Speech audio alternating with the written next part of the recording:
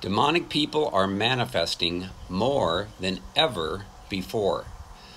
There are more people than ever who have demons who cannot control themselves and are manifesting on godly people.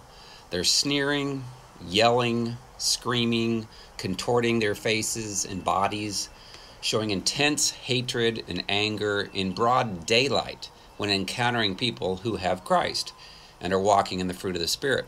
You can see it in their eyes as the demons are revealed to you, as their eyes are the windows into their souls, which are full of demons.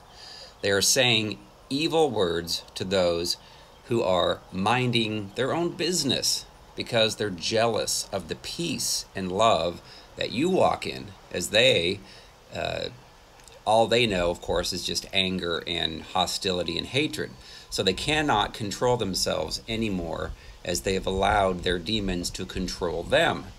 People in the church pretending to be godly and religious cannot stop themselves from manifesting demonically when around godly people.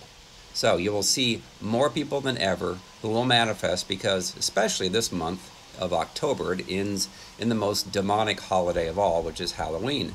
Satan's holiday is full of sacrificing, demonic rituals, so have nothing to do with celebrating Halloween, or you will allow demons to have legal rights to come after you and your children. So, Matthew chapter 6, verses 22 through 23 says, The lamp of the body is the eye. If therefore your eye is good, your whole body will be full of light. But if your eye is bad, your whole body will be full of darkness. If therefore the light that is in you is darkness, how great is that darkness?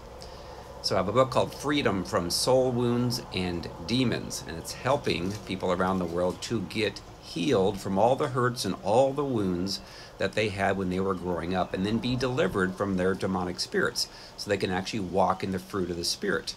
They can have light in their eyes, and they're not going to manifest on people. Again, there's lots of people in the church have demons and they need to be healed and delivered so that they can actually have the same peace, the same fruit of the Spirit that Jesus did.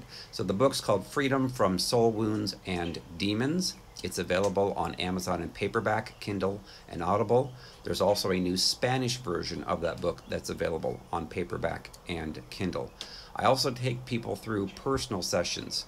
Uh, all over the world every week. So if you're interested in going through a personal session of healing and deliverance, then go out to our website, restored2tofreedom.com. Click on Contact Me and submit the form, or you can call 317 459 7091. Thanks.